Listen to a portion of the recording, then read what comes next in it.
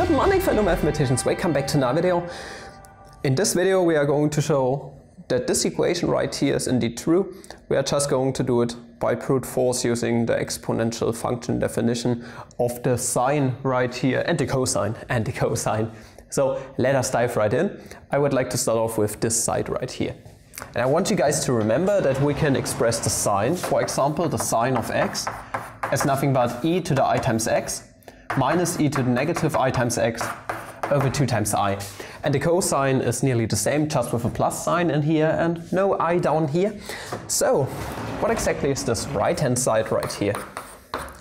We're going to have 2 times, okay, now the mess is going to start. So we are going to have e to the i times, okay, a minus b over 2 minus e to the negative i, a minus b over 2 over 2 times i.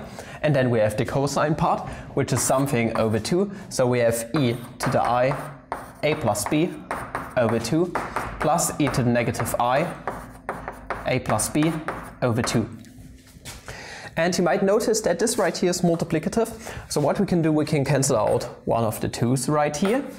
And you see we are going to get a common factor of 2i down here, so this is already good. So if we just write this different in this form right here. You are going to have 2i down here in the denominator, so that's already quite good. So we are going to have something with over 2 times i. What else do we have? Well, we can just multiply all of this stuff together and see what we get. So we are going to have at first this part. So we have e to the i times a minus b over 2. I'm just going to write everything out and then we are going to make more sense of it. Times e to the i, a plus b over 2.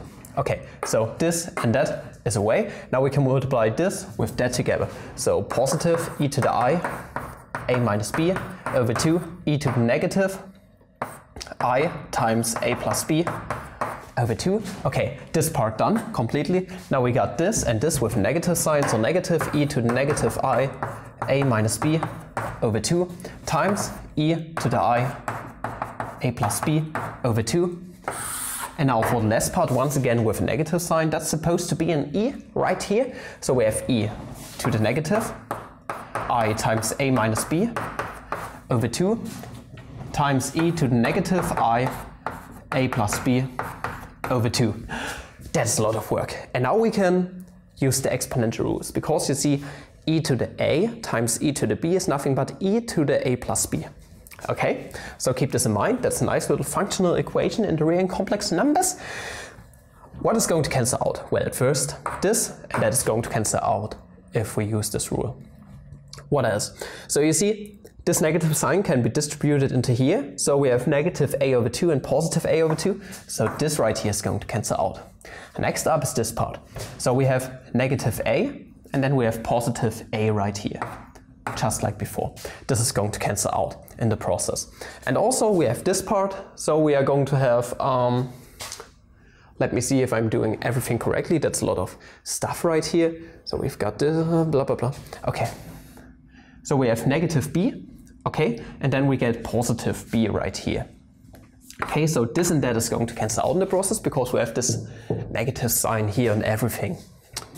Okay, what are we going to get? Now we are going to get e to the i times, okay, this is a over 2 plus a over 2, this is just a. Okay, coolio. So we've got this right here. Over 2 times i, let's put it that way. And also we have um, e to the i times, okay, this is negative, bring this negative sign to the front, so we have e to the negative i times b, okay? Plus e to negative i times b. Also, so this is done and this is done. Also we have, okay, negative sign, e to the something. Then we have negative and negative is going to become positive. So positive i and positive i is a common factor. b over 2 plus b over 2 is just b. So pos uh, positive um, e to the i times b, okay? And on this part, negative e to the, okay, we have negative i as a common factor. And also we have a over 2 plus a over 2 is just a. Okay, you see if we drag this out a bit, we are going to get e to the i times a minus e to the negative i times a over 2 times i. And you see, this right here is nothing but the sine of a by this exponential definition that we have. Okay, this is already good. And we have e to the negative i times b, so plus e to the negative i times b minus e to the i times b over 2 times i. But here's the thing, we want to get a negative sign up front, to get our negative sine of b. So why not multiply this by negative 1 or drag negative 1 to the outside, let's put it that way. This is going to become positive and negative right here. And well, this is nothing but negative, okay, I put negative to the outside, negative sine of b. It's just a little addition formula that I'm going to need soon, so that's why I'm deriving it. It's nothing special right here. Maybe you have heard of this before. Maybe there are better ways to do this right here by using the um, the definition of the uh, addition formula for the, the difference of arguments and yeah, the positive composition of arguments right here. Never mind all that. I thank you guys for watching. If you enjoyed this video, please like, subscribe, recommend channel if you like. I don't like deriving stuff like this. It's just boring and no one wants to see it. But if you did watch this video up until the end, I thank you guys so much. And up until next video, have a flammable day. See ya. Selfie. Peace. mm. Oh, Fokus. Pff, ich krieg alles ins Gesicht. Ei, LeMail. Andi.